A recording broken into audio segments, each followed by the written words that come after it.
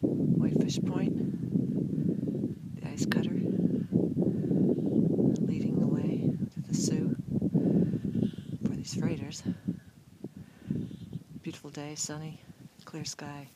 Well, kind of 39 degrees.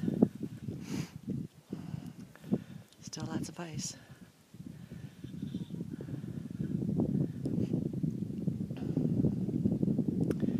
Only three freighters too.